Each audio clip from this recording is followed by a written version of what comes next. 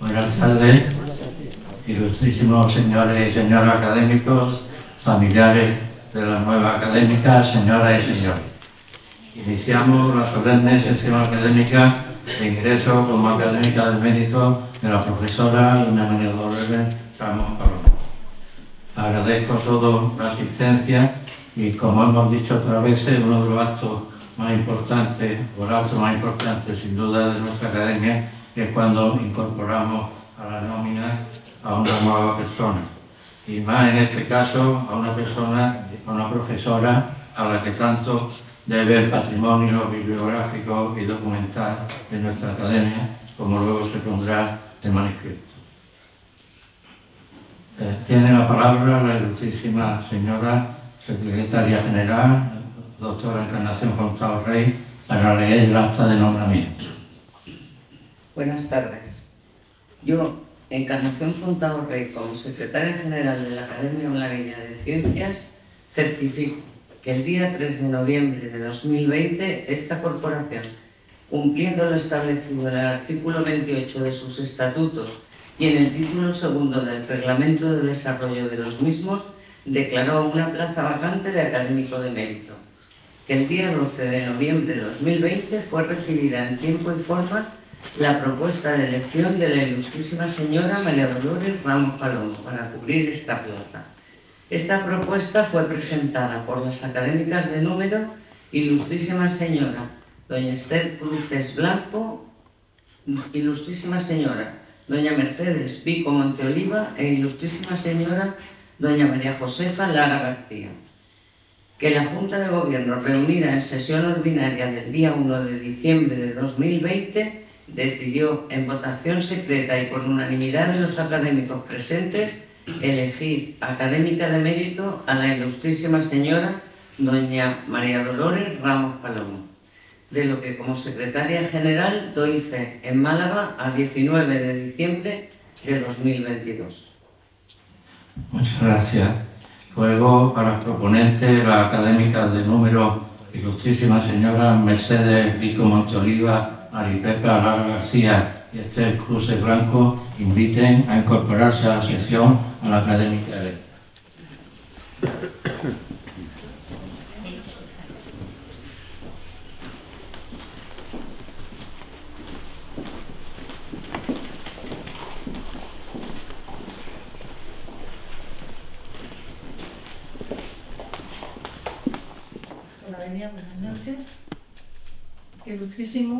presidente, ilustrísimos miembros, académicas, académicas, compañeros y compañeras de la comunidad universitaria, señoras y señores, amigos todos. Quiero que mis primeras palabras sean de agradecimiento a quienes me han honrado al presentar y respetar y respaldar mi candidatura en la centenaria institución que hoy me abre sus puertas un privilegio con el que nunca había soñado. Agradecimiento inmenso a las personas que han contribuido a mi formación humana e intelectual a lo largo de los años, hasta hoy, con su ejemplo, con sus palabras y con su respaldo. A mi familia, por proporcionarme el aliento y las alas que me permitieron dejar atrás la ciudad del Tajo, donde nací, y sus confines, la Serranía, el río Guadalete, los pueblos blancos de Sahara y Apolinares, donde visitaba regularmente mi tía Isabel, una mujer luchadora, como sus dos hermanas, una de ellas mi madre, y por supuesto mi abuela. De ese pequeño mundo apenas condensado en unos 40 kilómetros de agreste paisaje, me despedí un día decidida a emprender los estudios de filosofía y letras en el Colegio Universitario de Málaga. Tomé mi decisión en una época en, la que las jóvenes de mi edad se dedicaban generalmente a otros menesteres, encontrar un novio formal y prepararse para ser una buena ama de casa.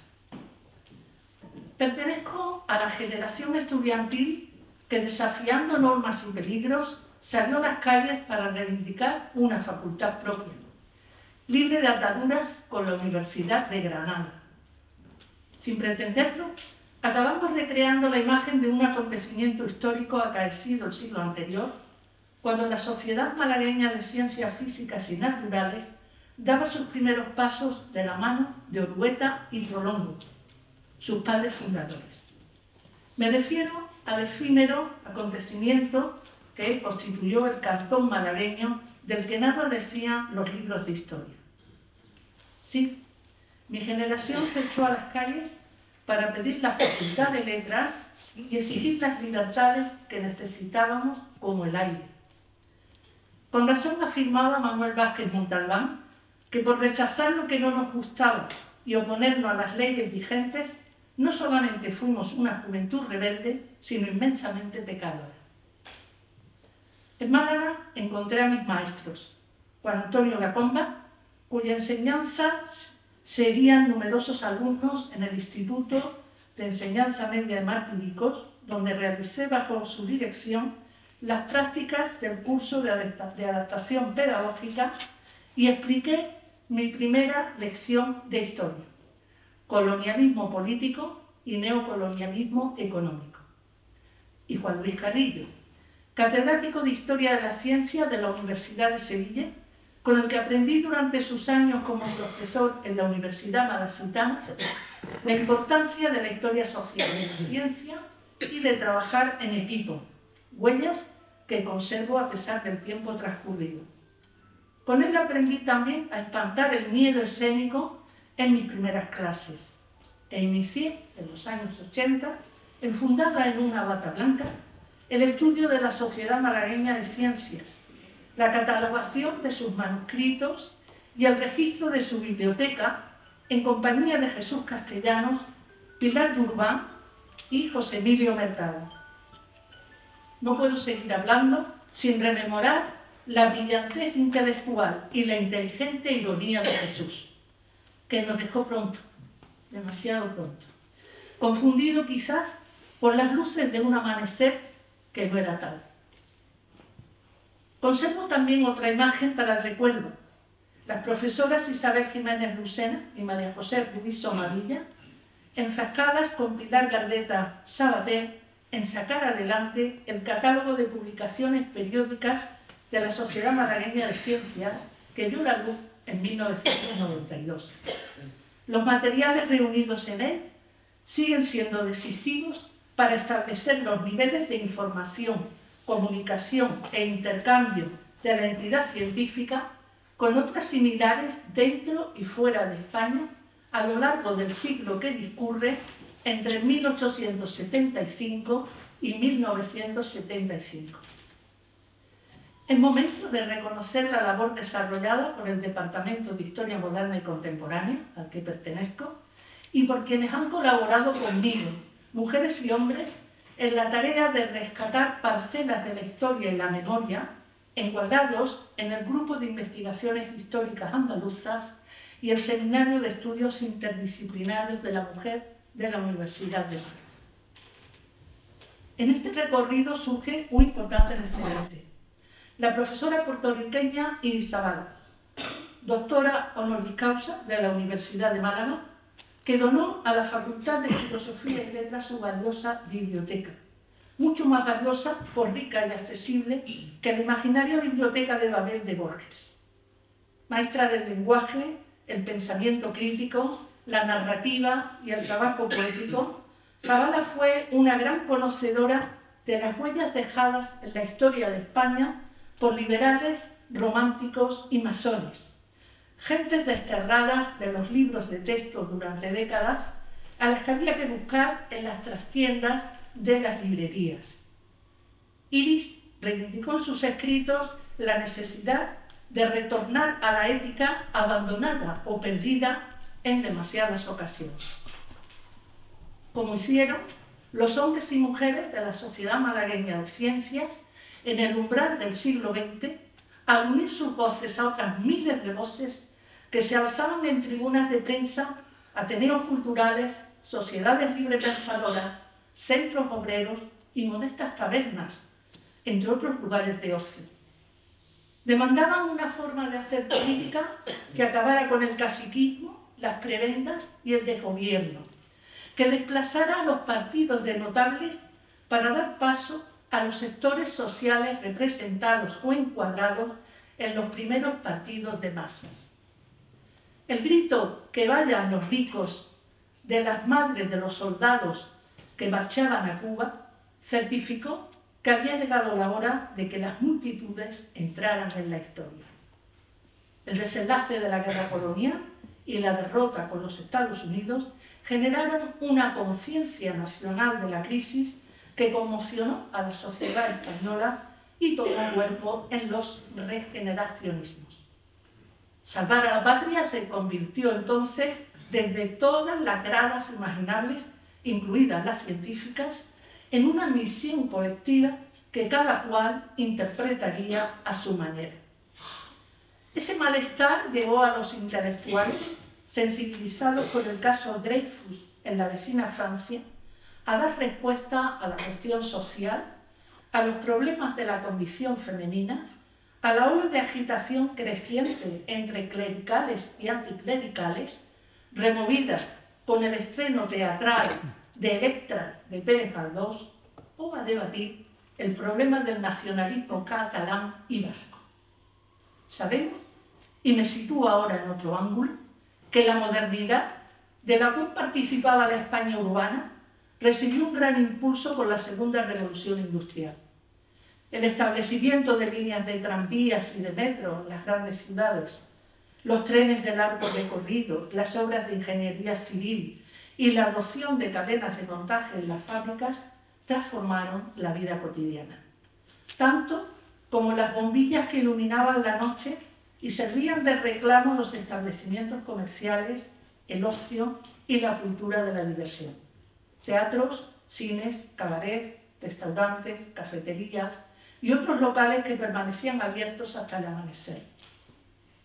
Al calor de la modernidad se organizaron las grandes exposiciones universales de Barcelona en 1888 y las de París en los dos años siguientes. Mientras la Torre Eiffel se alzaba orgullosa sobre los tejados parisinos, en los laboratorios se multiplicaban los avances científicos.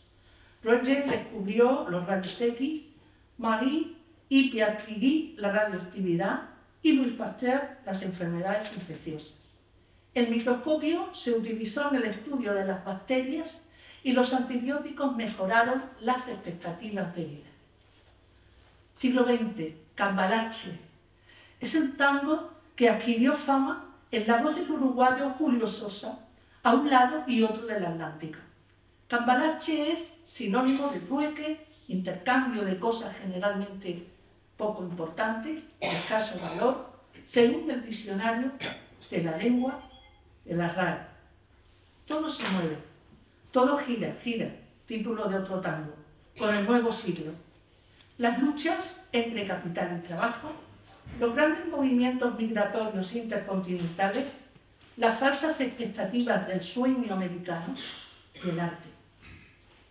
El modernismo se coló y de qué modo en la arquitectura, la escultura, la pintura, el mobiliario urbano, la decoración, las artes gráficas, las portadas de libros y revistas, recreando elementos visuales ligados a la naturaleza, motivos florales y una espiral de líneas onduladas frente a las encorsetadas representaciones del canon oficial.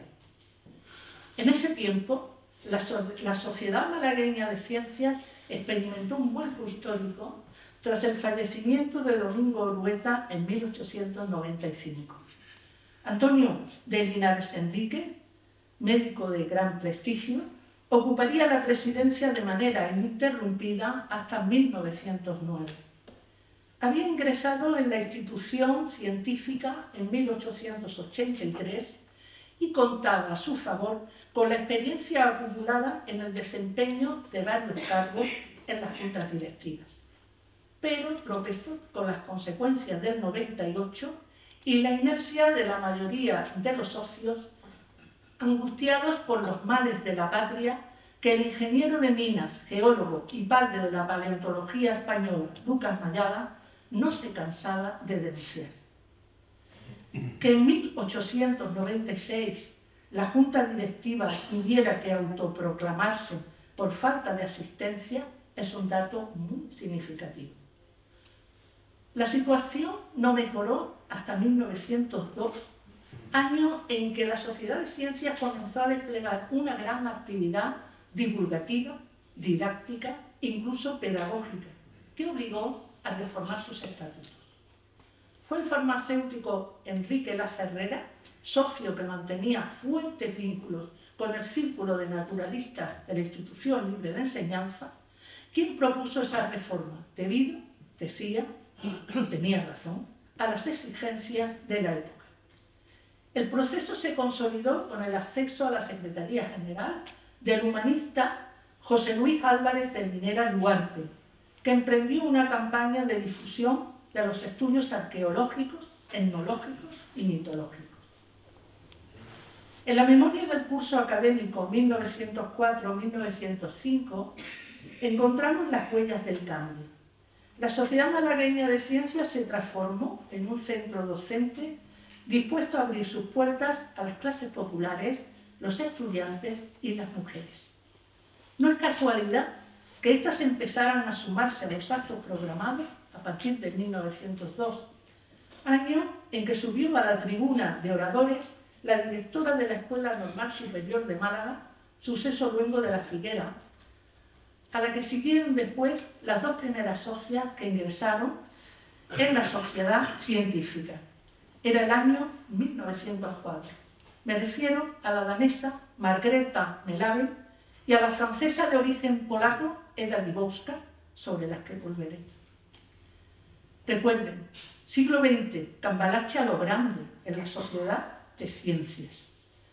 Divulgar el conocimiento, impartir conferencias abiertas y establecer un programa de lecciones, lecturas y debates constituyó en los inicios de la centuria una declaración de intención de hondo significado cultural y moral. Los objetivos de la entidad durante aquellos años resultan tan abrumadores como los males o carencias que revelan.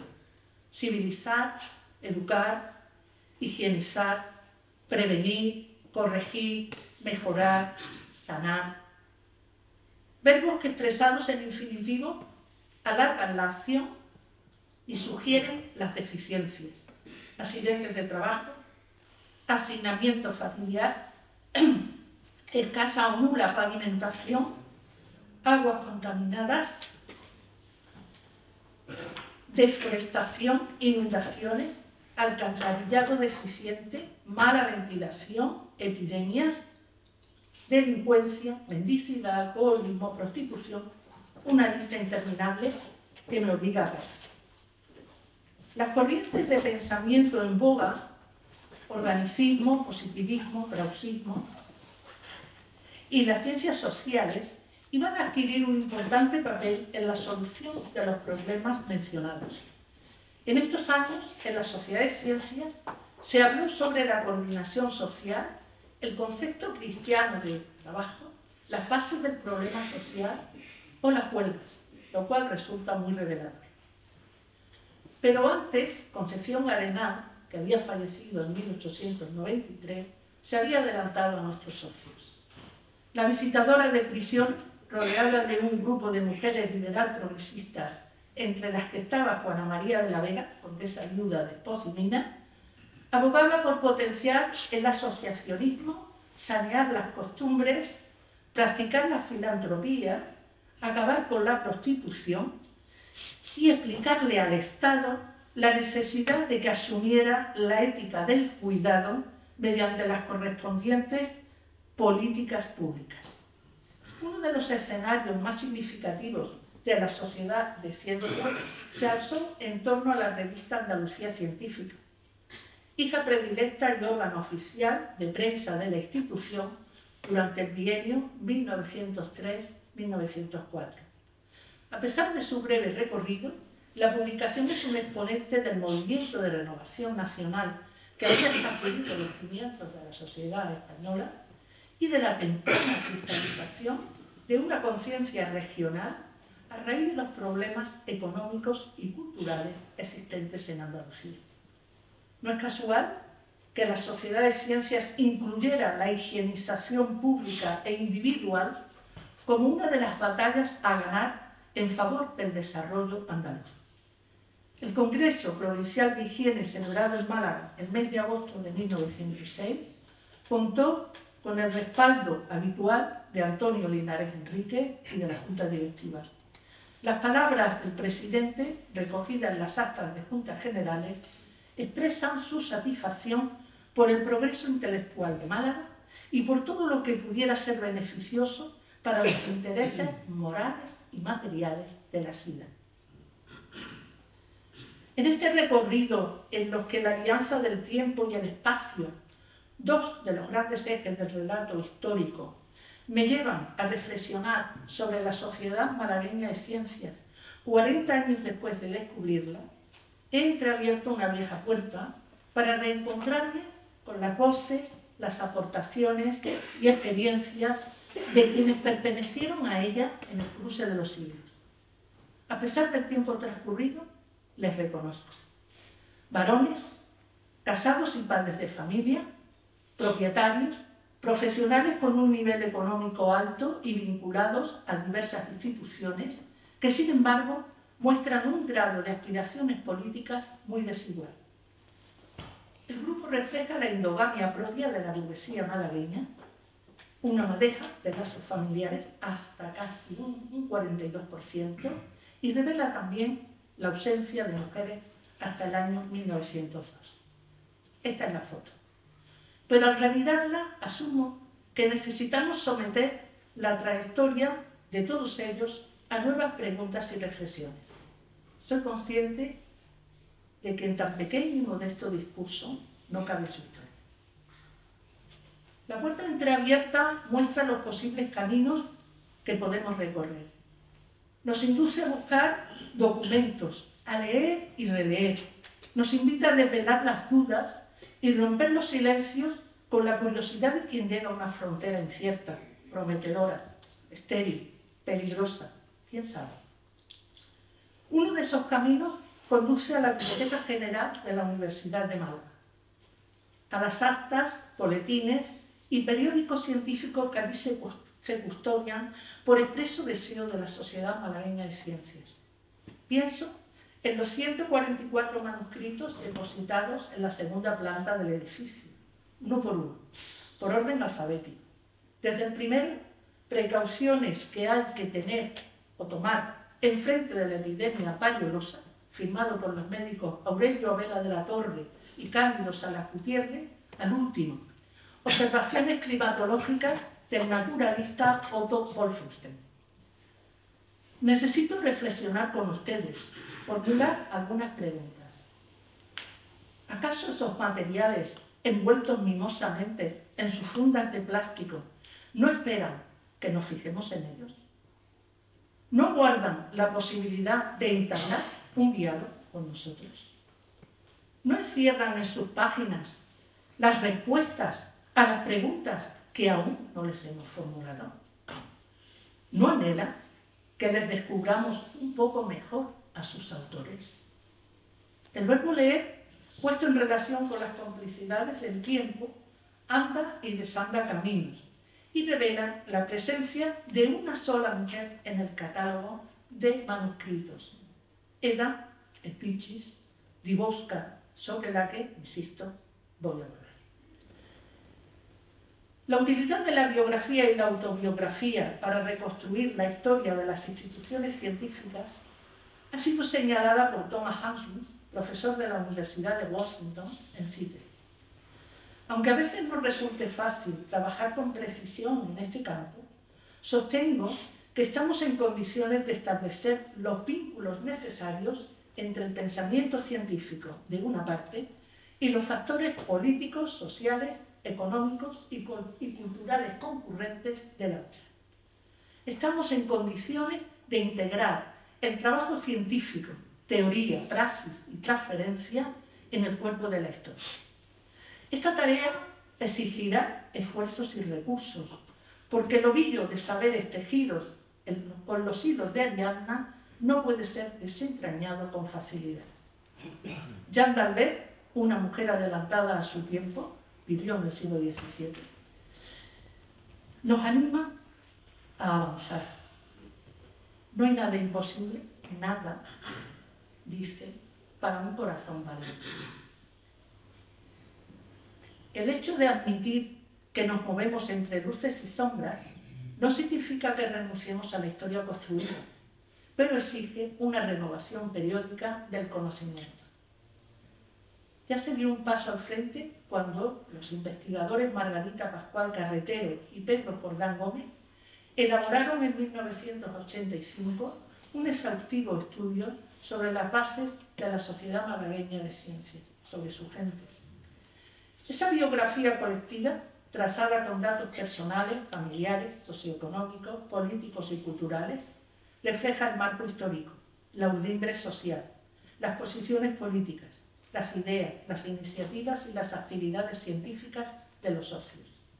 Muestra también líneas de fuga, puntos ciegos y silencios que tendrán que ser desvelados en futuras investigaciones. Por esta razón, y guiada por el atrevimiento de quien traspasa por vez primera el umbral institucional de la Academia Malagueña de Ciencias, me atrevo a pedir a su presidente, el doctor Fernando Orellana, y a la Junta Directiva, la adopción de incentivos que animen a la juventud universitaria a desarrollar líneas de trabajo sobre esta institución. La biografía científica es la lente literaria, entre otras muchas, que permite escribir la historia social de la ciencia a partir del contexto intelectual. Hay mucho, mucho que trabajar y que estudiar en este sentido. Desconocemos las propuestas, por citar un ejemplo, de Mariano Alcántara Muñoz, director del diario católico malagueño La Libertad, empeñado en conciliar la fe y la ciencia. Ignoramos la trayectoria de José de Arevalo Ibaca, socio correspondiente y catedrático de ciencias de la Universidad de Valencia. No sabemos apenas nada del médico Antonio Bernal Vaquera, nacido en la provincia de Matanzas, Cuba, que sin embargo se trasladó a Málaga y desarrolló su profesión en Alfarnate, Villanueva del Rosario y la ciudad de Málaga. Tampoco sabemos mucho de Fernando Chapón Jiménez Cuenca, que tuvo una activa presencia en el, colegio, en el Congreso Provincial de Higiene. Todos ellos fueron socios y conferenciantes de la Sociedad Malagueña de Ciencias. Sus manuscritos aguardan. Ahora retomaré el asunto desde otra perspectiva. Quiero mencionar las iniciativas del presidente de honor de la Academia, Alfredo Asensi Marfil, para avivar la memoria sobre sus orígenes. El libro de Miguel Álvarez Calvente ofrece una información minuciosa acompañada de un interesante material gráfico y tiene un valor añadido, su cronología, que llega hasta el año 2002. Muy útiles para liberar las huellas de la institución son las aportaciones publicadas en su blog, las conferencias pronunciadas y otras actividades. Al llegar aquí, debo mencionar las iniciativas de las académicas Esther Cruces, Encarnación Fontá, Maribel Palara y Mercedes Pico, así como el esfuerzo realizado por la profesora Encarnación Barranquero, compañera del departamento, para visibilizar a las mujeres que formaban parte de la Sociedad Malagueña de Ciencias. Confieso que me gustaría sumarme a esa tarea y aportar los granos de arena que la vida y las circunstancias me permitan. Entiendo que es necesario vincular la historia de la academia a sus mujeres. Visibilizarlas en la historia de la ciencia y la historia sociocultural, no desde la cima, ni siquiera en superficie, sino en profundidad, estableciendo paulatinamente un trabajo genealógico que será largo, muy largo. Las fuentes autobiográficas aportan recuerdos, experiencias y reflexiones sobre lo visto y lo vivido. Citaré algunos ejemplos. Las memorias del naturalista Odón de Buen, que mantuvo excelentes relaciones con la sociedad de ciencias, reflejan las dificultades que debió afrontar para explicar la teoría evolucionista en las aulas universitarias, de las que fue separado por sus ideas. Logró recuperar, no obstante, su cátedra de Historia Natural en la Universidad de Barcelona, hecho que él narra en las memorias con todo lujo de detalles, tras el amplio movimiento de protesta estudiantil desarrollado en numerosas ciudades españolas. Los recuerdos de Alberto Jiménez Fraud, recogidos en su obra Historia de la Universidad Española, sacan a reducir el positivo valor que el director de la residencia de estudiantes otorgaba a la holganza ilustrada, práctica cultural basada en la lectura, la reflexión, el contacto con la naturaleza y un intercambio de ideas que solo algunos privilegiados podían permitirse. Las cartas intercambiadas por suceso luego de la figuera con los escritores Narciso Díaz de Escobar y Arturo Reyes aportan datos de indudable interés para entender la trayectoria de las mujeres ilustradas a comienzos del siglo XX. Lo mismo ocurre en el manuscrito de Eda Dibowska, Carnes nocivas para la salud, en cuya introducción fija el recurso que debían utilizar las mujeres de ciencia, la captación de la benevolencia del público por el mero hecho de transgredir las normas establecidas.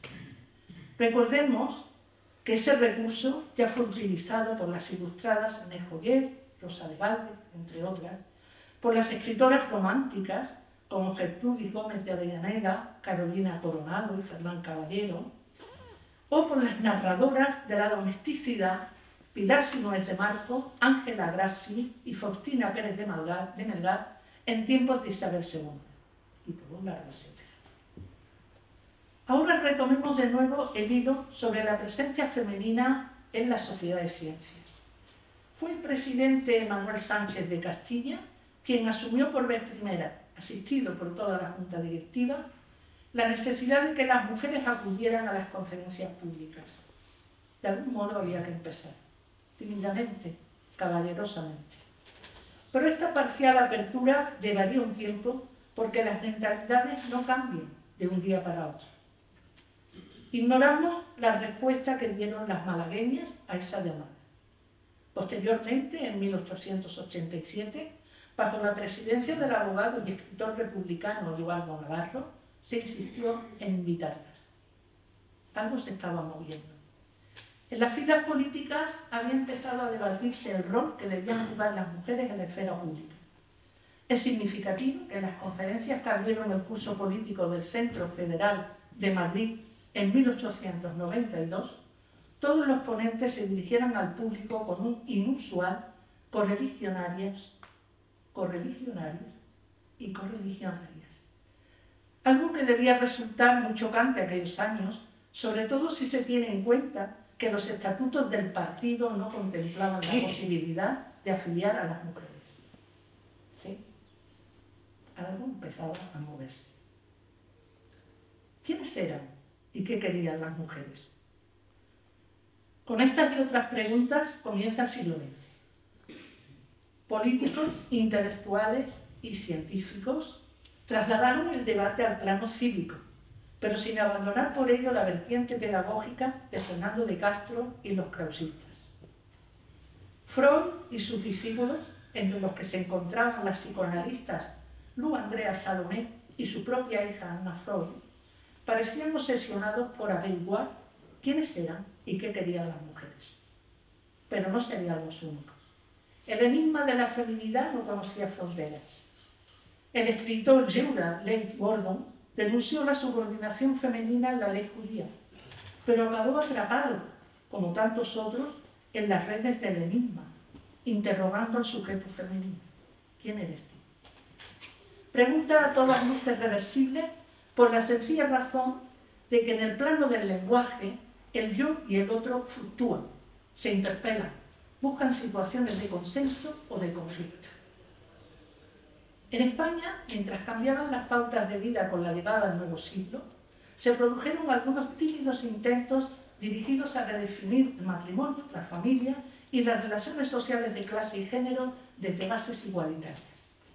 Las encuestas sobre el divorcio, publicadas en 1904 por la periodista Carmen de Burgos en el Diario Universal, obligaron a posicionarse a los representantes masculinos de la generación del 98. Pío Baroja se declaró partidario acérrimo por considerar que el divorcio sería un revulsivo necesario en una sociedad como la española que era, a su juicio, lucha y esmirriada, igual que Azorín, que se mostraría, sin embargo, más cauto en su respuesta. Unamuno titubea, no se pronuncia en público y reconoce en una conversación privada con la periodista que sus opiniones sobre este asunto eran tímidas, atrasadas y aburguesadas. Los demás escritores no opinaron. En un marco como este, la Sociedad Malagueña de Ciencias no iba a permanecer ajena a los aires de cambio y abrió la puerta de par en par a las mujeres. Antonio de Linares Enrique dio el paso decisivo, considerando que estaban llamadas a desempeñar un activo papel en la institución científica. En 1902, como se ha dicho, invitó a Fuseso Luengo de la Figuera a la tribuna de oradores. Por vez primera una mujer se dirigía al público que llenaba el local. La conferencia, titulada Pedagogía Social, es fiel reflejo de sus ideas educativas, que eran las de Krauss, Pestalozzi y Spencer, entre otros pensadores. La oradora insistió en que con estas ideas se podía construir una conciencia democrática que limara las aristas y enfermedades del cuerpo social en todos sus frentes, familiar, escolar, político, médico, higiénico, penitenciario, etc. Málaga había acogido a Suceso Luengo en 1898.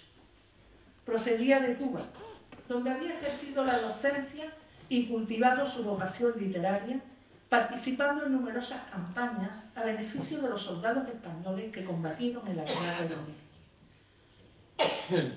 Pronto se acostumbraría a apreciar los destellos de luz sobre el mar Mediterráneo. Aquí se hará cargo de la dirección de la Escuela Normal de Maestras, escribirá novelas y libros de poemas, participará activamente en la vida cultural, ocupará diversos cargos en las instituciones públicas y hará amigos de por vida. Su conferencia marcó un antes y un después en la historia de la Sociedad Malagueña de Ciencias.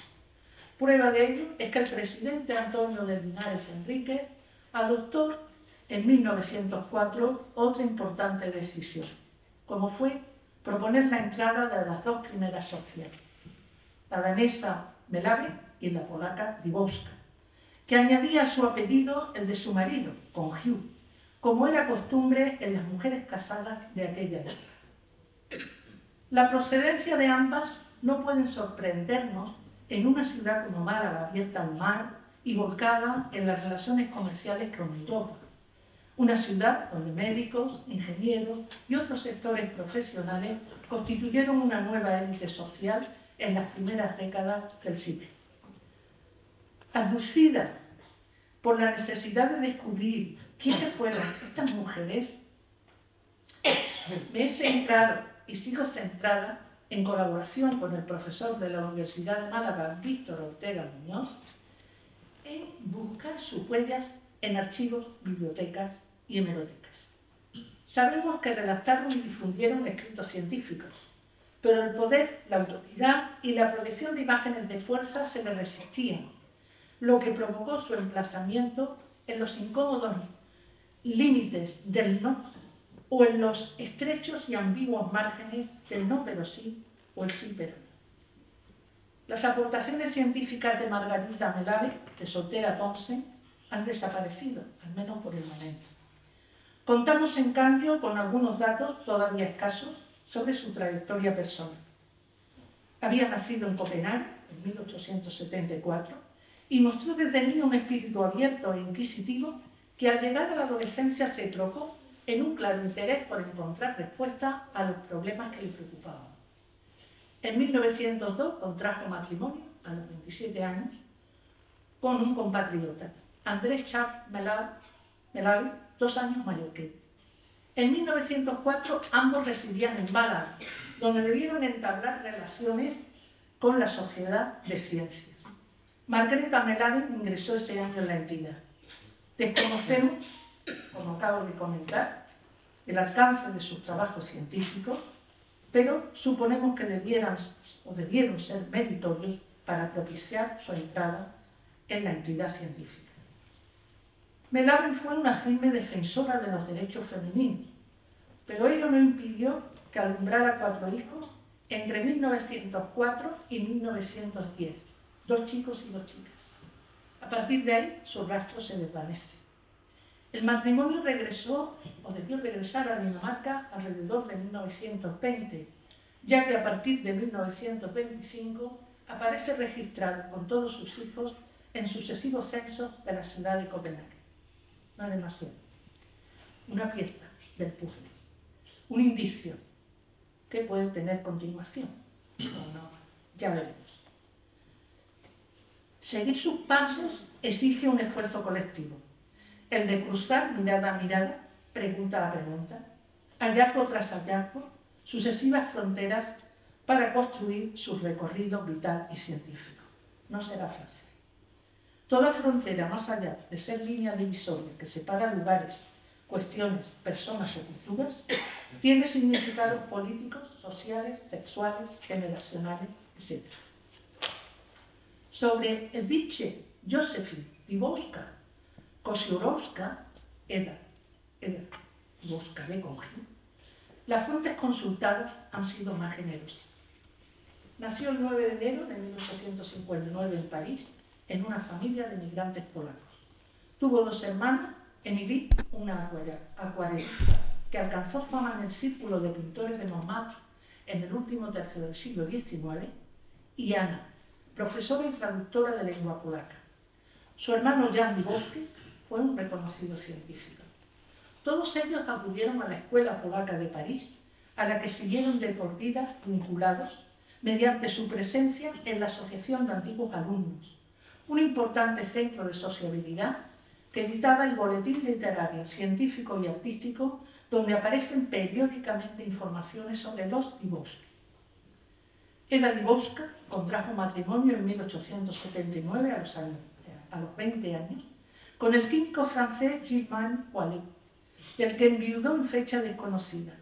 Se casó en segundas nupcias con el agrimensor malagueño José Confius Zafra el 11 de septiembre de 1892. La pareja vivió en París, donde él, además de desempeñar su profesión, colaboraba en publicaciones especializadas. Ella, ávida lectora y políglota, mostraba gran interés por las cuestiones botánicas, nutricionales e higiénicas desde un punto de vista científico. Pero no desasistía por eso sus inclinaciones artísticas, acudiendo como su hermana Emilie a la escuela de dibujo establecida por el pintor Dubois en París. Sus acuarelas sobre flores y plantas se recogen en el catálogo de dibujantes y diseñadores parisinos del año 1900. Simultaneó esta actividad con su presencia en los congresos de la Sociedad de Historia Natural de Francia y con sus artículos en los boletines de las instituciones científicas de su interés. A tono con los tiempos, se empapó de modernismo y escribió sobre las manifestaciones de este movimiento en la literatura iberoamericana en la revista ilustrada Chez No era una mujer doméstica, aunque en las noticias de sociedad figurara como esposa sin profesión, una situación que afectaba a numerosas mujeres en el siglo XIX. El único dato que tenemos sobre su acceso a la enseñanza arreglada, aparte de saber que cursó ¿eh? sus estudios en la escuela polaca, es el título de brevet superior que obtuvo el 4 de agosto de 1904 en París, recibiendo la felicitación del jurado. Poco después el matrimonio se trasladó a Málaga al ser reclamado José Conquiu en la ciudad por motivos profesionales. La personalidad de Dibowska debió resultar impactante en los círculos sociales y culturales donde se movía. Era una intelectual, una mujer de gran cultura, pero también una mujer de mundo adelantada a su época que impresionó al doctor Antonio de Linares Enrique hasta el punto de proponer su ingreso en la Sociedad Malagueña de Ciencias. Fue admitida en la sesión del 5 de noviembre de 1904 y enseguida, dando prueba de su activismo, impartió su primera conferencia titulada Carnes nocivas para la salud, el 15 de diciembre de 1904. El periódico La Unión Mercantil calificó su disertación de interesantísima, amena y de gran enseñanza y vertió elogiosos comentarios sobre la autora, de la que resaltó su gran sencillez, la lanura de estilo, dicción correcta, elocuente y dominio de la palabra que hizo arrancar vivos e incesantes aplausos. En ese acto, la conferenciante, tras un breve sordio, sentó como principio indiscutible que la alimentación sana era una de las mejores formas de conservar la salud y evitar toda clase de enfermedades. El manuscrito, conservado en la Biblioteca General de la Universidad de Málaga, tiene 39 páginas y una cubierta de cartón. Está escrito con letra moderna en tinta parda sobre papel listado. Presenta algunas enmiendas y en la página 19 aparecen dos pequeños dibujos árabes. El texto está dividido en cinco partes. Lema, descomposición o putrefacción, carnes con parásitos, carnes virulentas y otras carnes muy propias, como las de los animales enfermos, las de aquellos que por su juventud no tienen los principios nutritivos necesarios o que por su vejez han perdido esas condiciones. Dibosca citó, eh, dictó su segunda conferencia, titulada Ciclo Vegetal, el 30 de noviembre de 1905. El manuscrito no se conserva, pero el texto del que dispondremos pronto se imprimió en los talleres de José Corbier ese mismo año. Nuestra protagonista regresó a París en una fecha que aún no hemos podido establecer.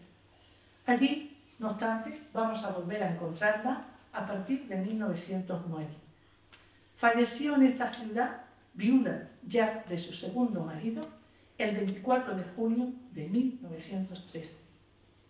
Su actividad prueba que el silencio tejido a su alrededor no hace justicia a sus aportaciones. Sus preocupaciones científicas, ubicadas en el campo del higienismo, la nutrición y la biología vegetal, reflejan su compromiso con un proyecto de vida que hoy calificaríamos de saludable y con las propuestas regeneracionistas en el periodo que hemos abordado. Y de esta forma llegamos al final. Ha llegado el momento de poner fin al discurso. Lo hago recordando las horas de juventud pasadas en la Facultad de Medicina. Lo hago pensando en mi familia, la que se encuentra en la sala y la que no está, pero está. Lo hago recordando a la academia su acogida y a todos ustedes su presencia. Lo hago con las palabras de María Zambrano. Me retiro. Ahora necesito el corazón. Ahora necesito que el corazón calle para tomar aliento. Muchas gracias.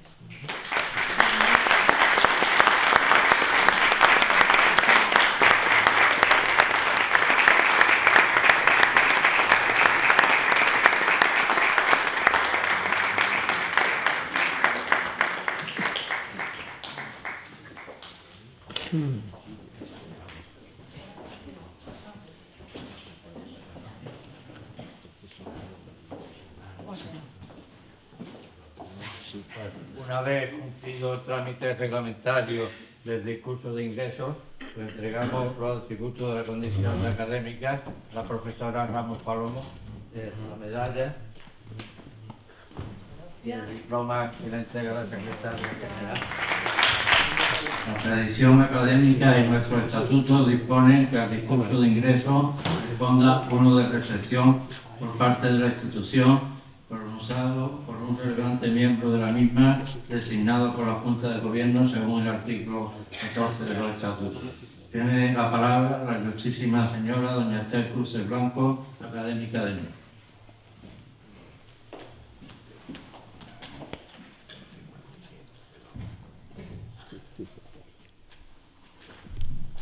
presidente, eh, miembros de la academia, académicos, compañeros de la universidad y mis queridas compañeras académicas y amigas, Mercedes Rico, Maripepa Lara y nuestra recién ingresada académica María Dolores Álvarez. Querida Lola, bienvenida a la Academia Malagueña de Ciencias y gracias por este discurso de ingreso que nos ha resultado emocionante, al menos cuando lo he podido compartir con tus proponentes. Gracias por acercar el presente al pasado, porque sin conocer a quienes nos precedieron, sin entender procesos y momentos históricos determinados, es difícil comprender, interpretar lo que acaece, el porqué de determinados asuntos, la interpretación de diversos aspectos, incluso el surgimiento de entidades como la Sociedad Malagueña de Ciencias. Además, conocer en este caso la institución que es el precedente de la actual Academia Malagueña de Ciencias es un ejercicio necesario para reconfortarnos con determinadas acciones del pasado y sobre todo sentirnos orgullosos del elenco de socios y colaboradores, también de algunas socias y pocas colaboradoras, de aquella sociedad malagueña de ciencias, porque realizaron esfuerzos, como la profesora Ramos nos ha indicado, porque tuvieron gallardía en las acciones en periodos de cambio y tal vez, sobre todo, por la modernidad de muchas de ellas, como nos ha expresado nuestra nueva académica. Sabíamos, Lola, de tu vinculación pretérita con la Sociedad Academia Malagueña de Ciencias, pues aún muy joven abordaste el trabajo de estudio y de la elaboración del inventario de los fondos bibliográficos y parte de su archivo, como ha sido expresado. Y en este punto, permítame, todo el público y especialmente eh, la doctora Ramos Palomo, que recuerde también yo al doctor don Jesús Castellanos, compañero de viaje en esta tarea de inventario y de descripción, en tu caso, y compañero de viaje mío, podríamos decir de pupitre, en aquella extraña mesa de trabajo compartida por muchos en las antiguas dependencias del Archivo Municipal de Málaga. Esto también me permite recordar que Lola Ramos Palomo fue para algunos de nosotros, un poco más jóvenes, una referencia temprana de los modos de hacer y de investigar la historia. Valga por ello mi gratitud. Pero mis palabras han de ser, y con gusto lo haré, para exponer la larga trayectoria profesional como docente y como investigadora de la doctora Ramos Palomo, así como sus muchos compromisos en órganos colegiados cuya finalidad siempre ha sido promover y mejorar los estudios y la formación en historia y de los historiadores. Lola se licenció en Geografía e Historia en la Facultad de Filosofía y Letras de la Universidad de Málaga, donde obtuvo el grado de licenciatura en Historia con la tesis La crisis de 1917 en Málaga. En esta misma universidad se doctoró también en Historia con la tesis Burgueses y proletarios malagueños, estancamiento económico y lucha de clases en la crisis de la restauración, tesis por la cual alcanzó el Premio de Historia Social Díaz del Moral del Ayuntamiento de Córdoba.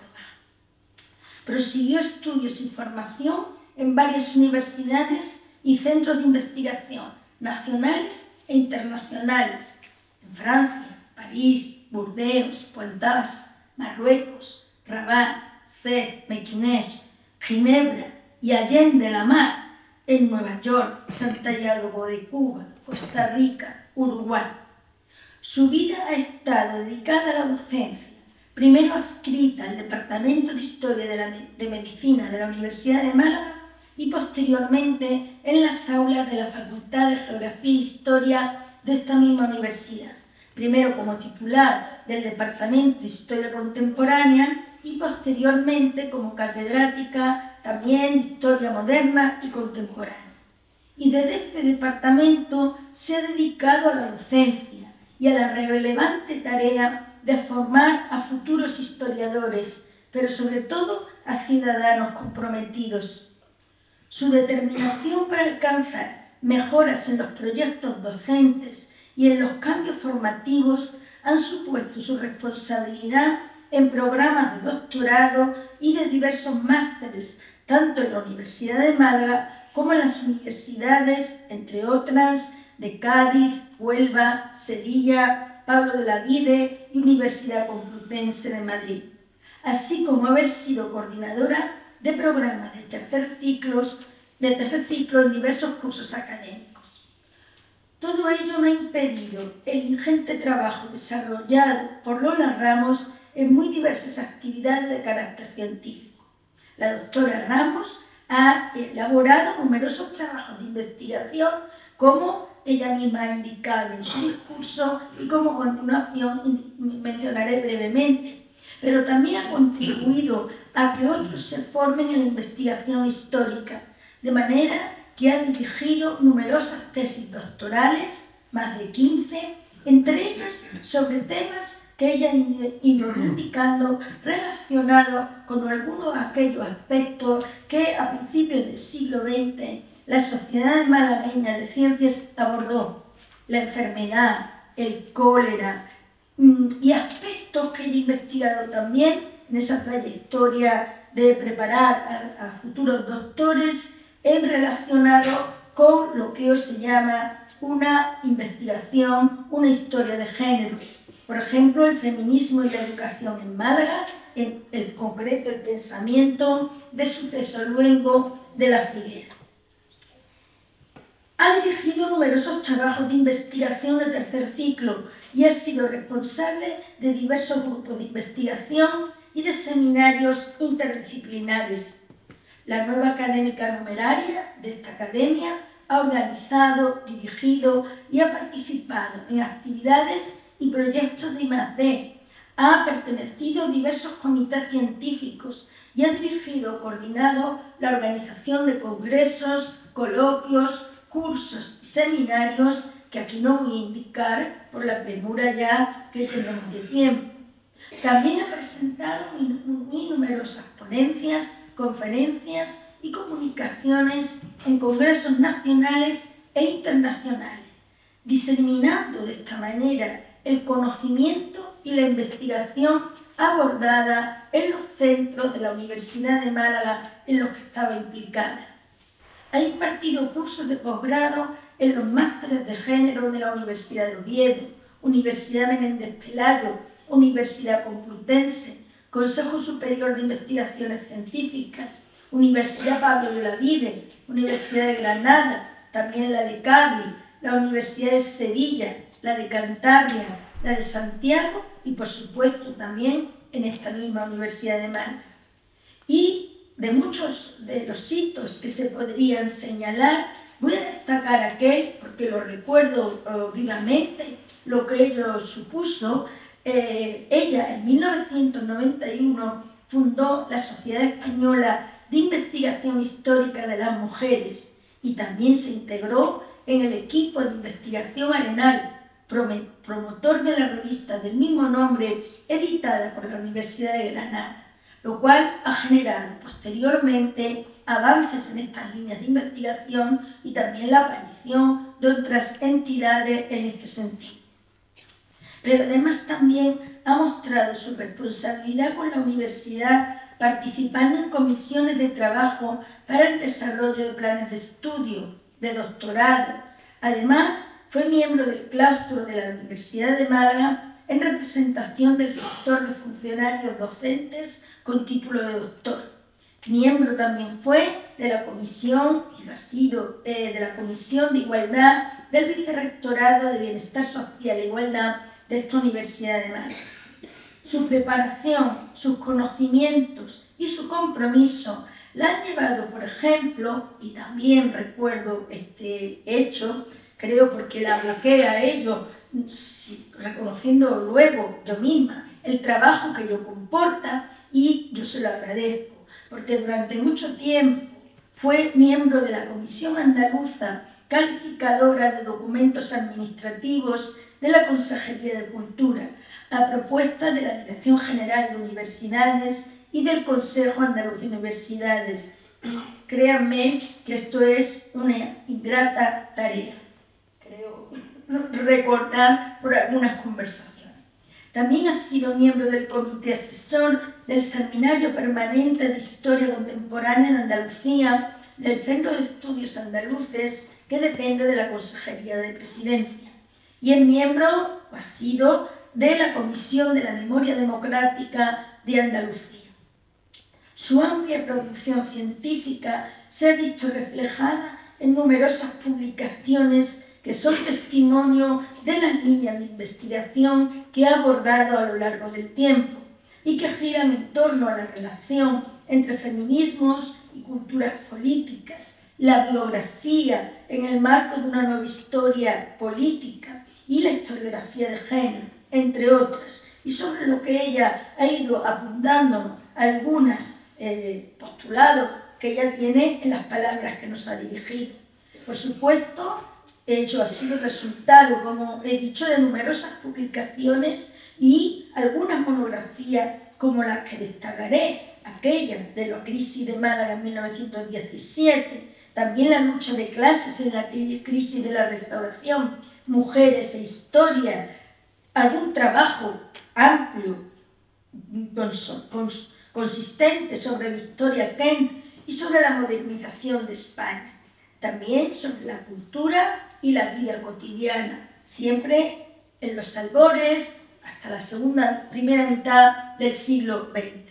Ha editado, junto con otros compañeros y colegas, actas, discursos y eh, toda reflexión en diferentes modalidades de publicación y también ha coordinado diversos libros, entre ellos Nuevas perspectivas sobre la Segunda República en Málaga, otro sobre el feminismo plural, Palabra y Memorias de Mujeres. Y no voy a continuar porque además estos currículas pueden ser actualmente consultados. Por lo tanto, es autora de más de 11 libros, más de 54 artículos de revista, un numeroso elevado número de obras colectivas y coordinadora de publicaciones, lo cual, aparte de la publicación de carácter científico, conlleva el trabajo largo de la coordinación. Su larga carrera como docente, investigadora y como generadora de conocimiento, también a través de discípulos y colaboradores, le ha, le ha supuesto ser valedora de premios y galardones tales como el que antes cité, eh, el Premio de Historia Juan Sofía Juan del Moral del Ayuntamiento de Córdoba, el Premio Nacional Emilia Pardo Bazán, patrocinado por el Ministerio de Educación y Ciencia, y además eh, otros reconocimientos como eh, la Medalla de Oro del Ateneo de Málaga en 1995 y en varias ocasiones se de los premios de investigación Victoria Kent. Un trabajo constante que intento resumir tanto en las aulas como en las salas de consulta de los archivos. Ella ha citado ese uso de las fuentes, porque la profesora Ramos Calomo maneja las fuentes documentales primarias, básicas, para poder entender el pasado y para concluir resultados. Igualmente, ha trabajado con fuentes hemerográficas, conociendo bien los retos que estas últimas plantean al historiador.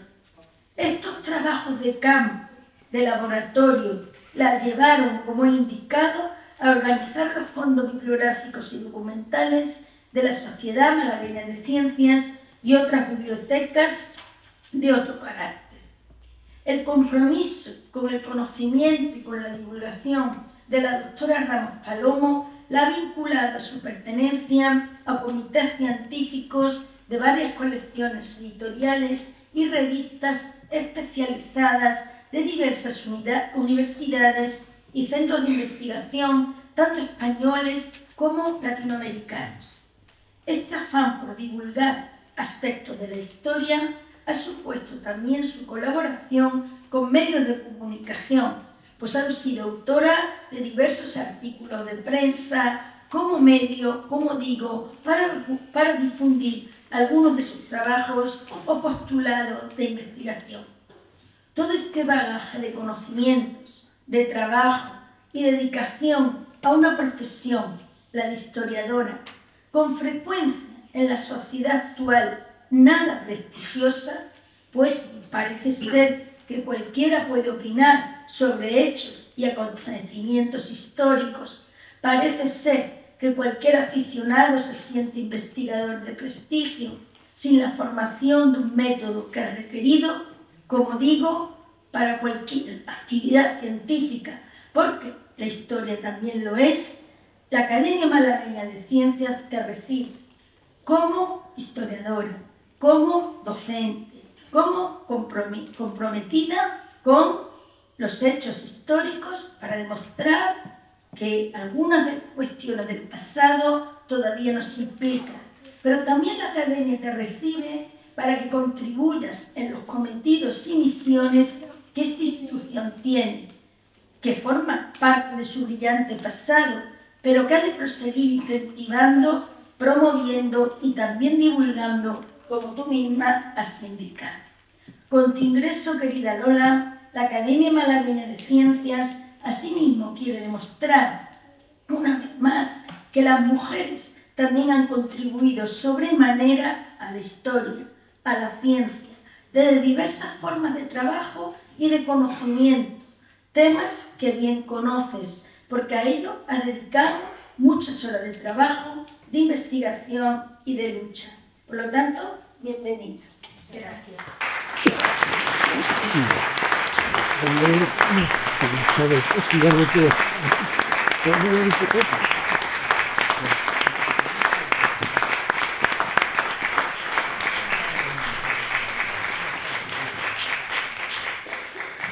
Muchísimas gracias a la académica Esther Cruz y María Dolores Ramos Palomo por su magnífico discurso. Siempre repetimos que el patrimonio de una academia, junto a su historia, su rigor, su trabajo y su independencia, es de forma fundamental la persona que lo integra, los académicos y académicas. Como bien ha dicho Esther, hoy nos enriquecemos notablemente con la incorporación de María Dolores Ramos Palomo. Es también un momento de gratitud a lo que ella hizo y lo que va a seguir haciendo a partir de ahora por nuestra sociedad o Academia de Ciencias. Es un día de emoción en el recuerdo a, las personas que han mencionado, al profesor Carrillo, a Jesús Castellano. Yo tuve la suerte de compartir con él amistad, felicidad, colegio y facultad. Y eh, fue una gran pérdida de luego que nos arrancó demasiado pronto. Es una alegría y es muy bonito que un académico que ingrese interpelando. Asumimos el compromiso y eh, eh, tenemos que ir continuamente eh, abriendo caminos y, líneas de trabajo. Hay un compromiso con la igualdad en el cual todavía estamos muy atrasados. Hoy me alegra que cinco de las seis personas que componen el STRAP sean mujeres, pero reconozco que la Academia tiene que seguir trabajando como es línea de esta Junta de Gobierno y de las anteriores por por conseguir una igualdad justa y real. Y el compromiso pues, en esta igualdad y también en ayudar a revisar nuestra historia. Recientemente hemos recibido el premio Antonio Garrido Moraga, que además conlleva una dotación económica y quizás se lo propondremos a la Junta de Gobierno y a la Asamblea, sería una buena idea destinar parte de, de, esos fondos, de los fondos que tenemos, a, potenciar la investigación histórica de nuestra sociedad malagueña de ciencia. Recordar, y ya he hablado de Don de Buen, eh, fue el, fundador quizás de la oceanografía en España, del Instituto Oceanógrafo. También recordar en este momento a Jimena de Quirón, que fue también una de nuestras primeras socias, que también fue la primera mujer oceanógrafa española y que también sufrió la represión que se le reconoció ya una vez jubilada. Y nada más, muchas gracias por vuestra generosidad, gracias a todos por su asistencia y en nombre de la Academia desearles una feliz Navidad, una feliz fiesta y un magnífico año 2023 a todos. Se levanta la sesión.